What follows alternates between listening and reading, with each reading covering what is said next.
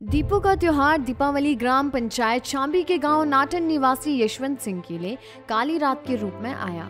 मामले में बीती देर रात यशवंत सिंह के चार मंजिला रिहायशी मकान में आग लगने से उसका लगभग 10 लाख रुपए का सामान जलकर राख हो गया। जानकारी के अनुसार रविवार देर रात जिला मंडी के सुंदरनगर उपमंडल की ग्राम पंचायत चांबी के गाँव नाटन निवासी यशवंत सिंह पुत्र बंगाली राम के चार मंजिला पक्के मकान में आग लग गई।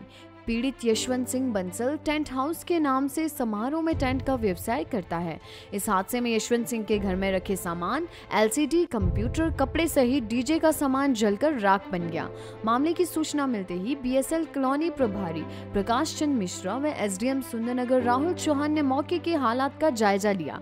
घटना की सूचना मिलने के बाद बीएसएल फायर ब्रिगेड के जवानों ने मौके पर कड़ी मशक्कत के बाद काबू पाया और आग को आगे बढ़ने से रोक दिया।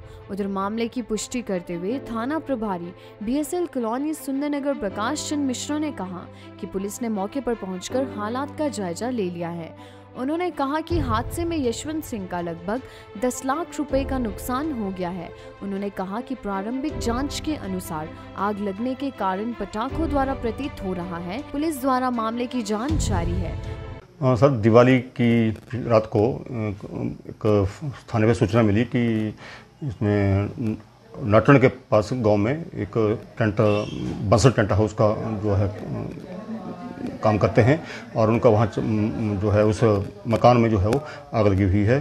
तो जिस सूचना पर पहले फायर ब्रिगेड वालों को भी सूचित किया गया और वो मौका पर उनको भेजा गया और मैं भी अपने पुलिस जवानों के साथ जो है मौका पर पहुँचा तो देखा कि नटन गाँव के पास जो है एक चार मंजिला मकान है, पक्का मकान चार मंजिला बना हुआ है और जिसके टॉप फ्लोर में जो है वो एक पीछे वाले कमरे में जिसमें काफ़ी सामान उनके यूज़ का सामान, कपड़े वगैरह और अलमारी वगैरह रखे हुए थे, उसमें जो है वो आग लगी हुई थी क्योंकि जो बाहर से अभी मकान अंडर कंस्ट्रक्शन है अंडर उसकी रिपेयर चली हुई है जो बाहर की खिड़कियाँ हैं अभी उसमें जो है उन्होंने जो है दरवाजे नालगा रखे हैं और अभी खुली हैं। तो शायद रात को कहीं पटाखे वगैरह किसी ने चलाए होंगे तो कहीं पटाखे की वजह से जो है कोई और वो आग लग सकती है क्योंकि उसमें जो उसके टेंट हाउस वाले के जो मालिक यशवंत सिंह है उसकी जो दो आदमी लेबर के थे वो भी उस मकान में सोए हुए थे। हाँ? नुकसान करीब आठ दस लाख के करीब का नुकसान हुआ है।